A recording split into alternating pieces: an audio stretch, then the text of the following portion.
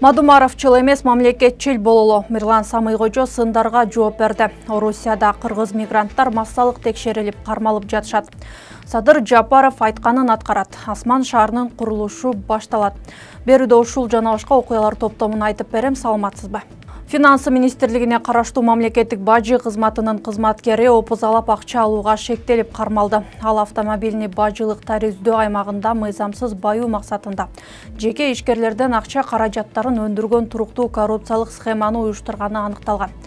Кармалган адам укмкнын тергөө абагына киргизилип иликтөө иш чаралары жүрүп жатат чейин он үчүнчү июнда ош облусунда кытайдан аткезчилик жол менен товарлардын реалдуу көлөмүн азайтып көрсөтүп жүргөн бажы кызматынын эки инспектору жана ишкерлер кармалган.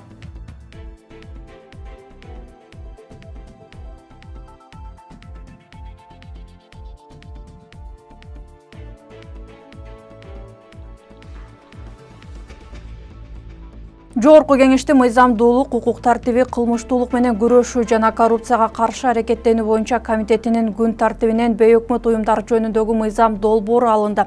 Бул тууралуу жогорку кеңештин расмий сайтында маалымдалат. Белгилей кетсек комитеттин жыйыны жыйырма жетинчи июнда өтмөк буга чейин өкмөттүк эмес уюмдар жөнүндөгү мыйзам долбоору күн тартибине киргизилген. Аны комитет биринчи окууда карашы керек эле.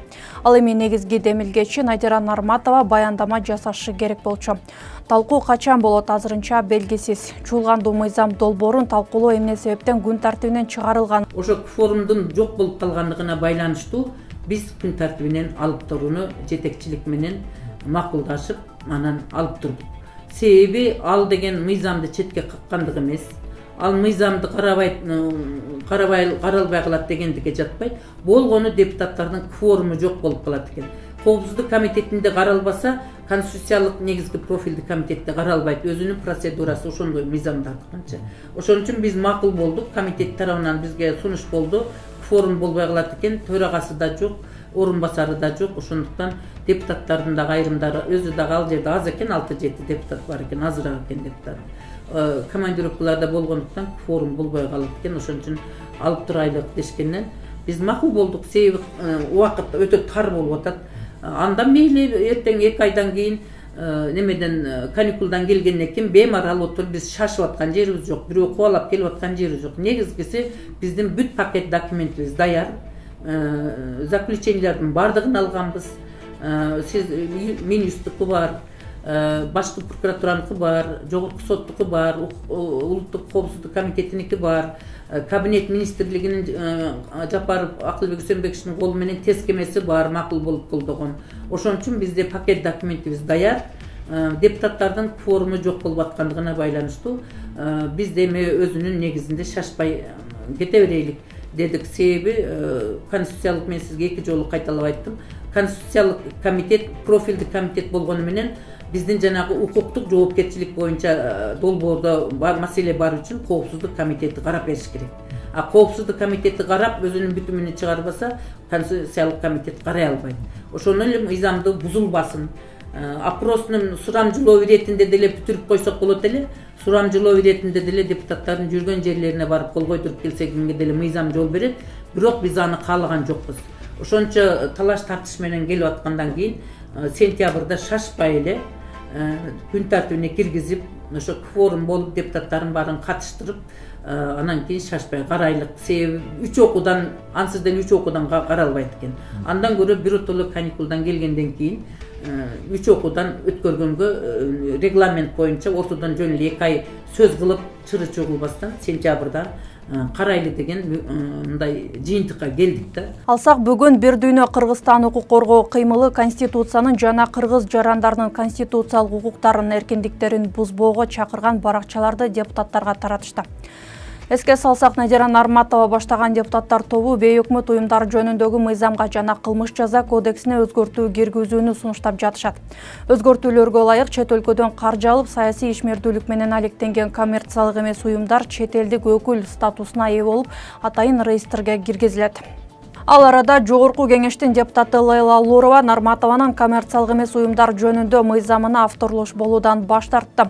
Бул тууралуу депутат өзү журналисттерге тастыктады. Мыйзамдын авторлугунан дагы бир депутат максатбек сарбагышев дагы баш тартып жатканы кабарланууда.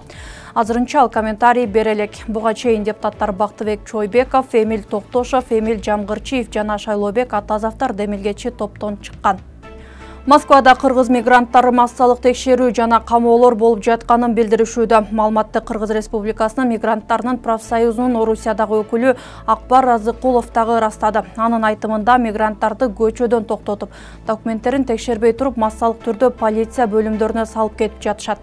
Разыкулов москвада текстильщик районундагы бир гана сизодо жүз элүү мигрант жатканын алардын көбү кыргызстандын жарандары экенин айткан кармалгандардын жыйырмадайы өзбекстан менен тажикстандын жарандары экенин кошумчалады.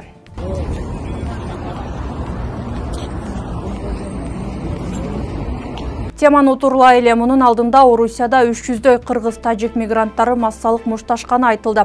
Маалыматка ылайык окуя иркутский областында болгон. Жмклардын маалыматына караганда чыр кимдир бирөө ашканага кезексиз өтүүгө аракет кылгандан улам башталган чыр чатактан тогуз адам жаракат алган. Алардын биринин башы сынып комага түшкөн.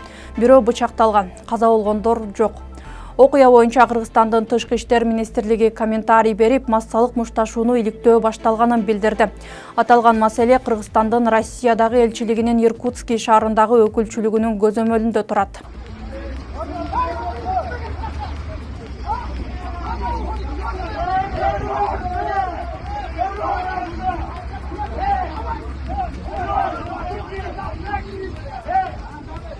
жогорку кеңеш министрлер кабинетинин бир дагы мыйзам долбоорун өткөрбөйт. Мындай пикирин бүгүн балбак төлөбаев тармактык комитетте билдирди. Төлөбаев акылбек жапаровдун жетекчилиги астындагы архитектура курулуш турак жай коммуналдык чарба мамлекеттик агенттиги ысык көл облусунун эки негизги көйгөйүн чечпей жатканына нааразы болду. Акылбек кайрылып аппарат жетекчисине. Бул каттарды карайсыңарбы же силер карабайсыңарбы жайыт бул силерде каттарды контроль барбы каттар боюнча же контроль жокпу башаламан келет жогорку кеңештин чечимин аткарбайсыңарбы мына вице премьер министриңер айтпадыңарбы жогорку кеңеш цирк аткарбай койсок деле болот хорошо биз да анда өзүбүздүн конституцияда жазылган укуктарыбызды колдонолу анда биз дагы бир да мыйзамыңар өтпөйт айтып коеюн могу жерде эгер биз ошондой бизге мамиле кыла турган болсоңор каттарыбызга жооп бербей просрочка кылсаңар свод кылбасаңар бир да мыйзамыңарды өткөрбөйбүз азыр кеңешебиз депутаттар менен ошо жакшы болобу ушу эл үчүн жакшы болмок беле ал арада президенттик администрация ысык көл облусунда экологиялык асман шаарынын курулушу отузунчу июнда башталарын жарыялады маалыматка ылайык ири долбоордун курулушуна президент садыр жапаров капсула салат асман шаары төрт мезгили бар. Ажайып кооз ак мөңгүлүү тоолордун курчоосундагы ысык көлдүн жээгине түшөт президент садыр жапаров баштаган ишин сөзсүз аягына чыгарат убакыт учкан куш бүт дүйнөнүн эли агылып келе турган борбор азияда шаар пайда болот ал асман ал эми соц тармактарда асман шаарынын курулушуна даярдыктар башталганы тууралуу тасмалар тарады.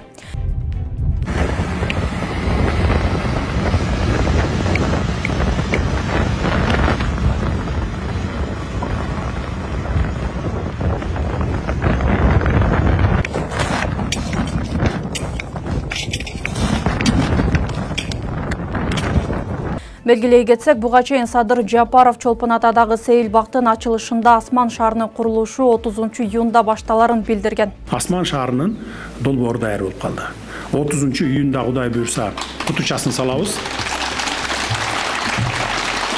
ал шаар башталат ал шаар башталат ал шаарда дагы бир беш жүз миңден жети жүз миң адам жашай турган ушундай расчету менен шаар болот төрт миң гектарга түшө турган сиз арча медиа редакциясынын жаңылыктар чыгарылышын көрүп жатасыз биздин youtube каналыбызга катталыңыз бизди next tv телеканалынан көрүп жаткан болсоңуз экрандагы qr код аркылуу катталсаңыз болот ал үчүн телефонуңуздун камерасын экрандагы белгиге сканерлеп көрсөтүлгөн шилтеме аркылуу катталуу баскычын басыңыз чыгарылышка лайк басып пикир калтырып бөлүшүңүз. Бул менен сиз объективдүү маалыматтарды жайылтууга көмөктөшкөн болосуз.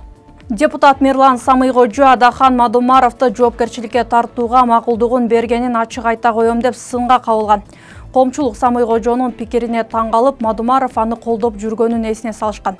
Жапырт сындардан кийин эл өкүлү төмөндөгүдөй билдирүү жазды мадумаровдун кол тийбестигин алуу боюнча берген добушумдун да жообу бар. Кааласа айтып берем ал жүрөгүмдөн кабыл алынган чечим. Кол тийбестигин эле алуу ал жерде соттоп камап салгыла деген чечим жок. Деги ушул кол тийбестик дегенге да каршымын. Баардык жаран бирдей укукка ээ болушу керек. Мыйзам карапайым калкка эле иштебей баарына бирдей иштесе кол тийбес болуп калам деп. Анын артына жашынган атка минерлер менен мандат алууга чуркагандардын саны да кескин кыскармак. Ал эми мен тууралуу талкуулап жаткан ар бириңерге рахмат. Анткени силер мага ошончолук ишеним артасыңар. Бул чечимиме да ишенгиле кесиптешим адахан кимсанбаевичти сыйлаганым үчүн көп сөз айткым келбей турат мадумаровчул эмес мамлекетчил бололу жер байлыгы эл байлыгы эске салсак өткөн аптада парламент депутат адахан мадумаровду жоопко тартууга макулдук берди ага макул деп добуш берген алтымыш бир депутаттын айрымдарынын аты аталып арасында мирлан самыйкожонун бар экени талкуу жараткан кыргызстан оганстанга атайын борт менен дары дармек түрүндөгү гуманитардык жардам жеткирди бул тууралуу жыйырма төртүнчү июнда улуттук коопсуздук мамлекеттик комитетинен билдиришти.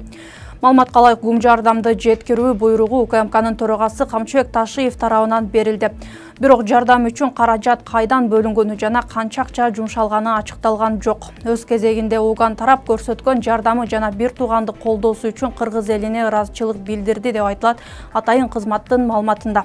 Эки миң жыйырма биринчи жылдын августунда ауганстандын бийлиги талибан кыймылынын колуна өткөн. Ошол жылы кыргызстан талиптер дайындаган өкмөт менен жолугушуу өткөргөн. Борбор азиядагы биринчи өлкө болгон вагнер жеке аскердик компаниясынын негиздөөчүсү евгений пригожинге козголгон куралдуу козголоңду уюштуруу кылмыш иши токтотула элек жана тергөө уланууда. Иш россиянын фсбсы тарабынан тергелип жатат. Бул тууралуу коммерсант гезити жазып чыкты. Ага ылайык пригожин куралдуу козголоң уюштуруу айыбы менен он эки жылдан жыйырма жылга чейин эркинен ажыратылышы мүмкүн буга чейин орусия президентинин басма сөз катчысы дмитрий песков евгений пригожинге каршы кылмыш иши жабылганын. Жалданмачылар жоопко тартылбай турганын билдирген. Эскерте кетсек жыйырма үчүнчү июнда вагнер жеке аскердик компаниясынын негиздөөчүсү евгений пригожин ростов на донудагы объекттерди көзөмөлдөп жатканын билдирген кырдаал беларустун президенти александр лукашенконун вагнердин башчысы менен сүйлөшкөндөн кийин жөнгө салынган. Азыр пригожиндин кайда экени белгисиз. Курман айт намазы жыйырма сегизинчи июнь күнү эски аянтта окулуп таңкы саат алты нөл нөлдө башталат. Бул тууралуу муфтияттан маалымдашты. Белгилей кетсек курман айт майрамына байланыштуу кыргызстандыктар жыйырма сегизинчи июнь күнү эс алышат. Аптанын башталышында орун алган окуялар топтому ушулар болду. Чыгарылышты жыйынтыктайм саламатта туруңуз